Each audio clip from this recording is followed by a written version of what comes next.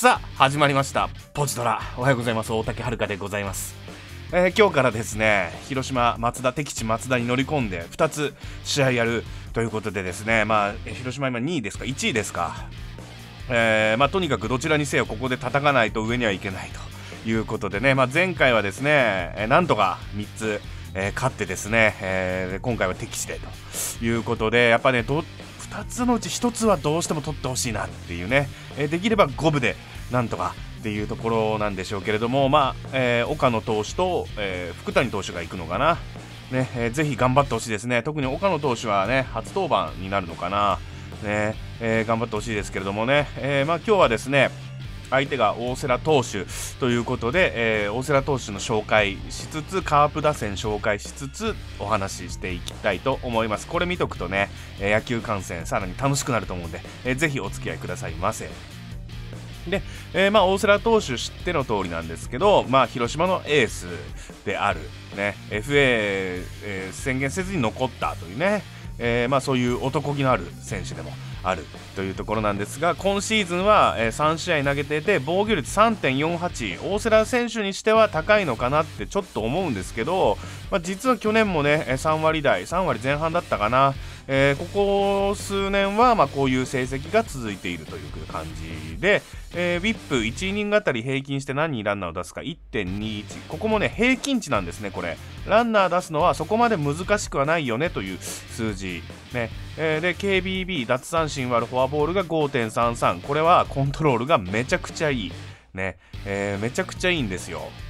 で分解して見てみると奪三振率6.79、9イニング投げると、まあ、6.79この三振を取る、まあ、そこそこ取れてますよね。で対して吉球率9イニング投げると1.31個のフォアボールを出す。ここがねめちゃくちゃ低いんですよ。なんでこの KBB の高さである。ただ逆に考えるとですね、えー、吉球率低いのにウィップが平均値あたりっていうことはそれだけね被安打を食らってるんですね。ヒットを結構打たれちゃってるっていうのが今シーズンの大瀬良投手の特徴である。ね。で、えーこのホームラン9というのは9イニング投げると何本のホームラン打たれるか？0.87ここはまあ、えー平均ぐらいなんですが、えーグラウンドアウトエアアウトの比率フライアウトと、えーゴロアウトどっちが多いのっていうところはフライアウトのが多い。ということは、まあえーコントロールミスがなかなかない投手ですけれどもこの先ホームランが、えードラゴンズ出る可能性は大いにあると思いますね、えーフライアウトの方がアウトを多く取っているのに、えーホームランナインが平均値にいるってことはこれから一発いくんじゃないかなと僕は思います。今日期待したいなと思います。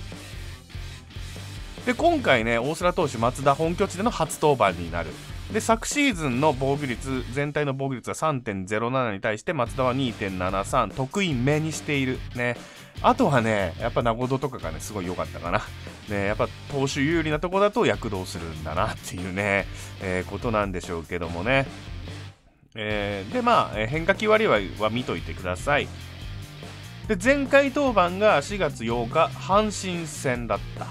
ねえーこの時ですね大瀬良投手6イニングで、えーマウンドを去っている、ね。えードラゴンズの時はですね大大野雄大投手と投げ合いで8回までマウンド登ったんですがこの時は6イニングでマウンドを去った。被安打8結構打たれてますよね、えーヒット8本。でそのうちホームランが1本。ねえやっぱホームランねこの先僕もうちょっと打たれちゃうんじゃないかな大瀬良投手。逆に言えばドラゴンズ打てるんじゃないかなと思いますね。で奪三振、え5つの吉球が1つか。やっぱりフォアボールは期待できない連打でなんとか長打でなんとかしていくしか崩す方法はないかなと思います。で自責点3ね。えーで今シーズン対ドラゴンズは1試合やってまして防御率3.38皆さんね、えー記憶に強く残ってると思いますけど8回の、ねえー攻撃ドラゴンズの攻撃っていうのはね、えー早く早めに阿部選手がホームラン打ってでどうどうなるどうなるっていうところで8回の猛攻だった、ね、ただしこの時ランナーをあんまり出せなかった。1.00平均よりは低い。で被打率ドラゴンズ側から見れば2割4分2厘。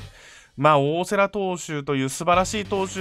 に対しては打てた方なのかな。これがつながるとねいいと思いますね。でよく打ってたのが大島選手鵜飼選手阿部選手5割。で阿部選手に関しては1ホーマー。今回もね、えーマスターのクラッチバッタークラッチヒッターぶりをね、えー期待したいなと思います鵜飼選手なんかもね出ても面白いかなって思いますねで、えー、次に見ていただくのはこの打線の話カープ打線えー、なんですけど、チーム打率が2割6分0厘、これね、ドラゴンズより打ってるんですよね。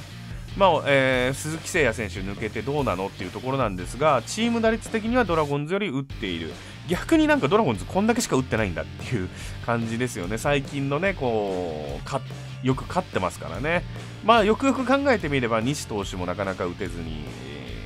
えー、次の日のえー、ごめんなさい、失念しちゃったけれども、あの緊急登板した投手も打てずにっていうね、えー、9回まで打てずにっていうね、えー、系統系統で打てずにって試合ありました、意外とドラゴンズ打ってないんですよね、実はね。で、このカープ打線、ホームランが4本しか出てない。しかもそのうち2本がマクブルームという新外国人である。ね、えー、打率はですね、2割5分ぐらいだったんですけども、ホームランは出てるよというね、えー、今日も警戒必須だと思います。で、えー、今シーズン当たってるのがこれらの選手、堂林選手なんかはですね、えー、同じ愛知県人としては、まあ、活躍そろそろっていうね ところなんですけど、今日はね、なりを潜めてほしいなと思いますね。で、カープ打線 VS ドラゴンズという書き方してますけれども、えー、まあ、今シーズン3回やった中のっていう話ですね。が1割3分4厘。ドラゴンズはかなり抑えた。ただし、バンテリンドームでの戦いである。ね。えー、なんでね、今日はもうちょっとヒット出ちゃうんじゃないかな。ねえー、あの時はですね、大野投手やら、柳投手やら投げてるわけですからね。で、特にドラゴンズ戦調子がいいのがこの、え、選手である3割並ぶ五輪。今日もね、えー、警戒したいなと、してほしいなと思いますね。